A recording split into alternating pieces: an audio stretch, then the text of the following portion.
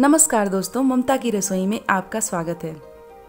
आज हम बनाने जा रहे हैं चिली गार्लिक मशरूम। तो आइए देखिए कैसे बनता है, इनमें किन चीज़ों की ज़रूरत होती है। तो यहाँ पे मैंने मशरूम लिया है, मशरूम को अच्छे से वॉश किया और उसके बाद कट करके रख लिया है। ये लिया है मैंने दो प्याज जो लंबे स्लाइसों में कट कर लिया है। यहाँ पे लिया है मैंने रेड चिली, साबुत रेड चिली, जिसे मैंने पानी में सोख करके रखा हुआ है। और ये ले लिया है मैंने लहसुन की बारह से पंद्रह कलियाँ ली हैं मैंने, इसे भी मैंने छील के रख ली है।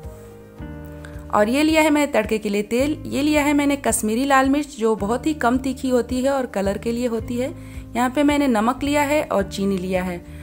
नमक आप टेस्ट के हिसाब से लें, चीनी ऑप्शनल है, अगर आप पसंद करते हैं तो लें, नहीं तो ना लें। तो चलिए बनाते हैं। तो सबसे पहले हम क्या करते हैं कि एक मिक्सर का जार लेते हैं।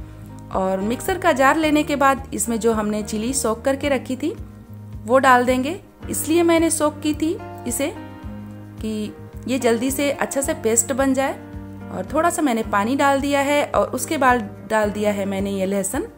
उसके बाद ये रेड चिली पाउडर और ये डाल दिया है मैंने नमक। नमक आप अपने स्वाद के हिसाब से लें। और ये मैंने चीनी डाल दी है आधी टी स्पून इन सारी चीज़ों को मैं खूब बारीक सा अच्छा सा पेस्ट बना लूँगी। तो चलिए बना लेते हैं पेस्ट और अब देखिए यहाँ पे मैंने पेस्ट बना लिया है। आप देख सकते हैं कैसा पेस्ट बन के तैयार हुआ है। यहाँ पे देखिए मैंने फ्राइंग पैन रख लिया है और फ्राइंग पैन हमारा गर्म हो चुका है तो मैंने डाल दिया है यहाँ पे तेल। तेल को हम गर्म होने देते हैं थोड़ा।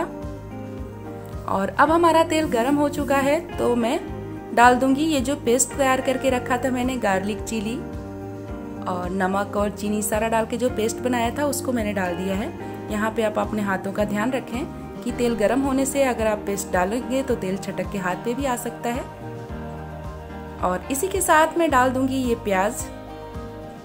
प्याज भी इसके साथ पक जाएगा और प्याज का भी कच्चापन चला जाएगा। तो इसमें मैं बराबर चलाते हुए प्याज को पका लूँगी। ये बहुत ही डिलीशियस रेसिपी है। आप इसे ज़रूर ट्राई करें। और अब मैं गैस की फ्लेम को कम कर लूँगी। इसमें हम पानी अब बिल्कुल नहीं डालेंगे। जब हम पेस्ट बनाते हैं तो पेस्ट बनाते समय ही उसमें हम थोड़ा सा पानी डाल देते हैं, ताकि हमारा पेस्ट अच्छा बने। और मैं इसे बराबर चलाते रहूँगी।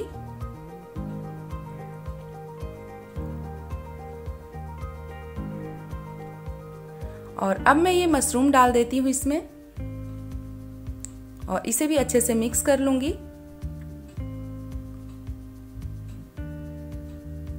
ये देखिए, यहाँ पे बराबर चलाते हुए मिक्स कर लेंगे। इसमें पानी नहीं डालेंगे इसलिए क्योंकि मशरूम का अपना ही पानी होता है। तो जब ये पकेगा तो उसी पानी से ये पक जाएगा।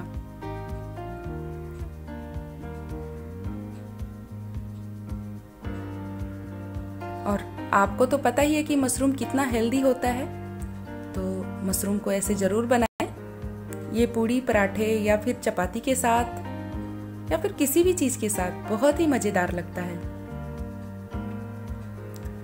और आप देख सकते हैं इसे बराबर चलाते हुए मैंने इसको मिक्स कर लिया है। और गैस की फ्लेम को बिल्कुल कम ही रखना है ताकि हमारा मशरूम नीचे से जलने ना लगे। और अब मैंने इसे ढक्कन लगा दिया है। और ढक्कन लगाने के बाद दो मिनट तक पकाने के बाद मैं एक बार फिर देख लेती हूँ। तो देखिए, इसमें पानी आ गया है मशरूम का निकलने लगा है। और मशरूम भी थोड़ा पक चुका है, पर अभी भी थोड़ा सा बाकी है तो मैं अभी भी इसे एक मिनट और पकाऊँगी। ये देखिए, फिर से मैं ढक्कन लगा देती हूँ और एक मिनट का वेट करती हूँ। एक मिनट हो चुका है और अब हमारा मशरूम पक के बिल्कुल तैयार है। ये देखिए।